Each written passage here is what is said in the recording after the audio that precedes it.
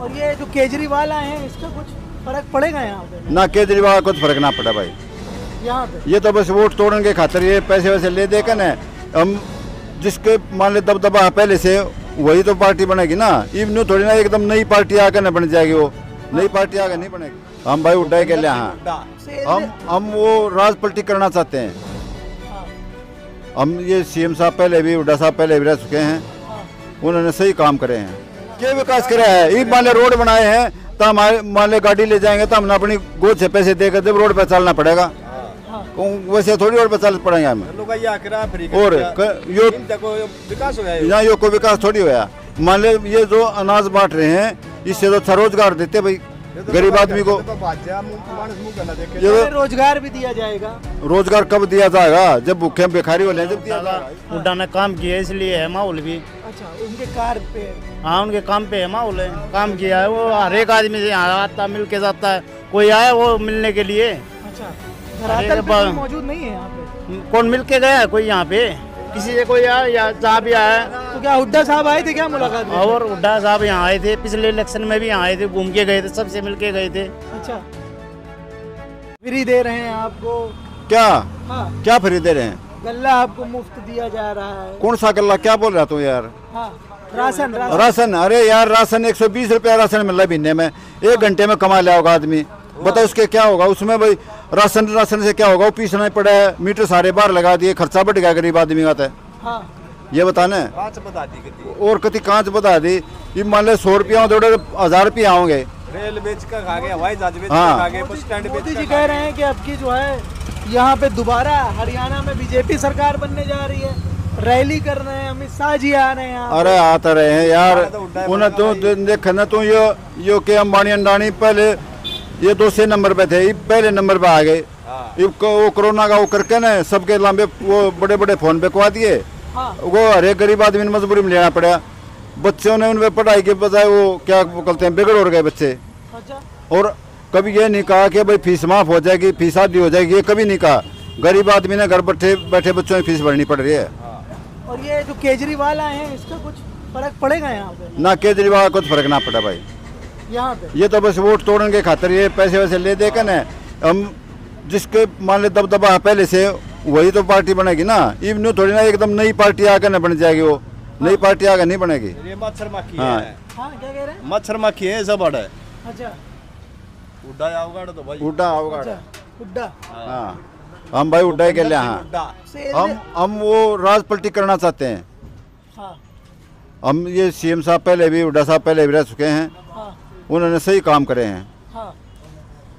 आप दोबारा से उन्हें देखना चाहते हैं? हाँ दोबारा से फिर देखना चाहते हैं. लेकिन लोग तो तो कांग्रेस की काफ़ी बुराई कर रहे हैं कौन? कि यार सत्तर साल से देश को लूटा अरे यार ये बात बता सत्तर साल से सत्तर साल से नहीं मान ले तू. सत्तर साल से हर एक आदमी के ऊपर सत्तर हज़ार रुपये कर्जा था। हाँ। लेकिन इस साल में ना हर एक आदमी पे दो लाख रुपए कर्जा हो रहा है।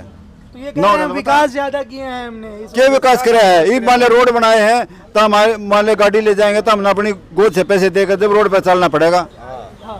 वैसे थोड़ी पर चल पड़ेंगे हमें। और क- यो विकास हो गया यहाँ यो कोई विकास थोड़ी होया। मान ले ये जो अनाज बांट रहे हैं इससे तो अच्छा रोज़गार देते भाई।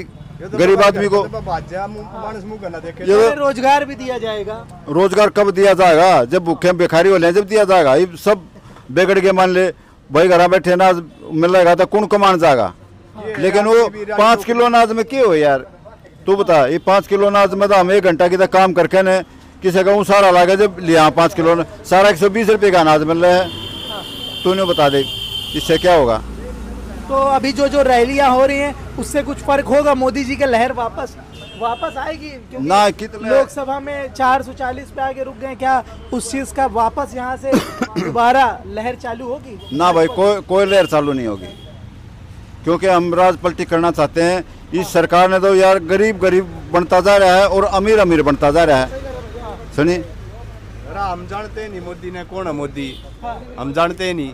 मोदी जी को जानते नहीं है? है हम ना जानते भाई। तो प्रधानमंत्री हैं देश के आप हमारा प्रधानमंत्री उड्डा भाई। उड्डा अरे मुख्यमंत्री हम बना उड्डा ने जाना भाई। प्रधानमंत्री बना दिया उड्डा। हाँ मारती था प्रधानमंत्री वो है भाई। ये, देखो प्रधानमंत्री बना दे रहे हैं। आइए और भी। माइक के पीछे खूब बोलते हैं। और जैसे सामने पूछो चुप हो जाते हैं। क्या भैया क्या लग रहा है इस बार माहौल यहाँ पे क्या है? भाई उड्डा का है। अच्छा अब हुड्डा के बार हुड्डा सरकार। अच्छा हुड्डा सरकार. हाँ। क्या हुआ, भाजपा सरकार से क्यों नाराज़गी है यहाँ अरे नाराज़गी कुछ नहीं है हुड्डा का। हुड्डा ने काम किया इसलिए है माहौल भी। अच्छा उनके कार पे? हाँ उनके काम पे है माहौल है। काम किया है वो हर एक आदमी से यहाँ आता मिल के जाता है। कोई आए वो मिलने के लिए? अच्छा धरातल पे कोई मौजूद नहीं है यहाँ पे? कौन मिल के गया है कोई यहाँ पे? किसी से कोई आया या जहाँ भी आया? तो क्या हुड्डा साहब आए थे क्या मुलाकात में? और हुड्डा साहब यहाँ आए थे पिछले इलेक्शन में भी यहाँ आए थे घूम के गए थे सबसे मिल के गए थे। अच्छा। हाँ। ठीक है। बताएँ भैया क्या लग रहा है माहौल इस बार यहाँ पे? हुड्डा ही हुड्डा जी का माहौल है। अच्छा अच्छा अच्छा। चलिए आइए। क्या भैया क्या लग रहा है? क्या अरे वोट तो देते हैं अरे बस मेरी वोट ना बन रही भाई वोट ही नहीं बन रही है काहे दूसरे देश के हैं क्या? हाँ विदेशी आ गए यहाँ पे अरे ना। हाँ वोट ही नहीं बन रही है। चलिए बहरहाल और भी लोग से तो यहाँ के लोग हैं और भी लोग से हम बात करेंगे।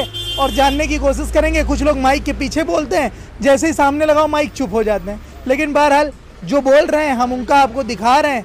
और भी लोग से बात करेंगे और जानने की कोशिश करेंगे कि यहाँ पे भूपेंद्र हुड्डा का जो इलाका है, उसमें उनका दबदबा कैसा है।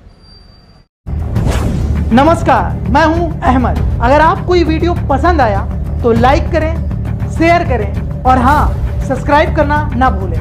धन्यवाद।